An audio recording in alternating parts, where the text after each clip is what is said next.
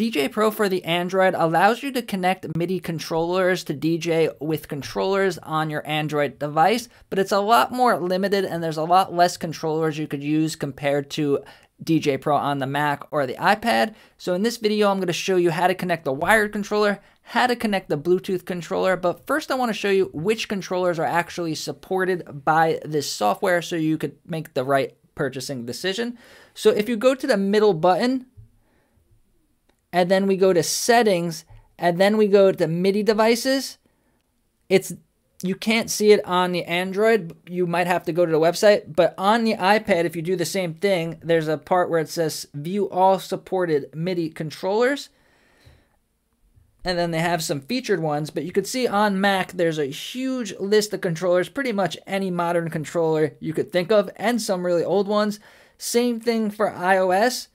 But now if we get to Android, it's much much more limited and a much smaller selection and you cannot custom map any controller with an Android device. So the uh, the new ones are the Alpha Theta DDJ Flex 2, the DDJ GRV6, which are really good professional controllers. You could use the Pioneer Flex 4, which I made a lot of videos about, which is a great controller. You could use the Hercules Control Mix and the Control Mix Ultra. And then um, there's a list of Reloop controllers, and I was really excited to see my favorite controller, the Reloop Buddy. So you could take a screenshot or pause this, or just go to the Algoriddim website and see. So you make sure you buy one that's supported on your device. So now that you have a supported controller, you're probably to need one more thing because my Android device, and I think most new Android devices, are going to be powered by USB C. So you're going to need a way to plug in a regular USB to the USB-C. Um, some controllers like the Flex 4, I think, uh, are USB-C to USB-C, so you won't need that. But if you're having trouble connecting the wire that came with your controller, like the Reloop Buddy, then you may need one of these. And if you're using the Android, you don't have to get a fancy one. You don't have to get one with HDMI because there is no video mode like there is in the app for the iPad. So let me just go back. So here we are, we have the app and we have the paid version. Pretty sure you're going to need the paid version to connect controllers. So this is the wire that comes with this Reloop Buddy. So this is going to go into the actual controller or whatever port your controller has. If you go with the Flex 4 or something, just use that one. And then we are going to plug it in like that. And then now we need a way to get our USB-C in. So I'm going to be using one of these. And now we're going to plug it right into the USB-C port right there.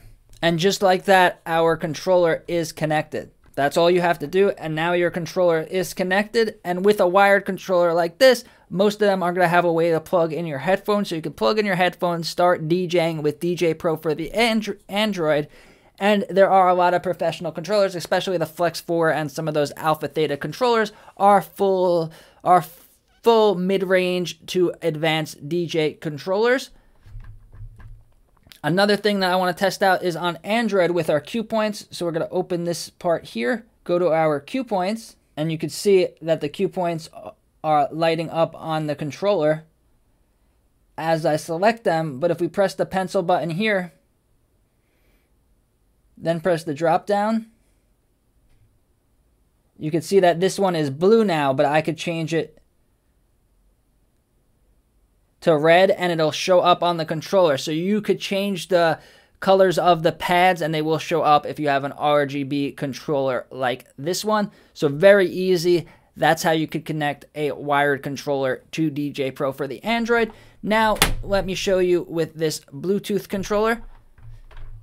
So this specific controller, you're going to have to plug into a power source. If you have the new one, you don't have to plug into a power source.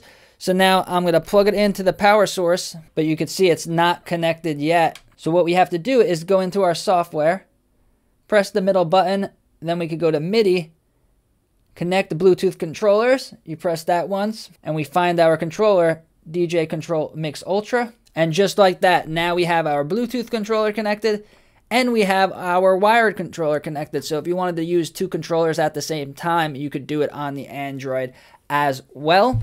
So djay Pro for the Android, although it has limited features and limited connectability, you could still DJ with some great controllers and get a full professional DJ experience. And if you want to see me compare djay Pro for the Android versus djay Pro for the iPad, check out this video over here. Thank you.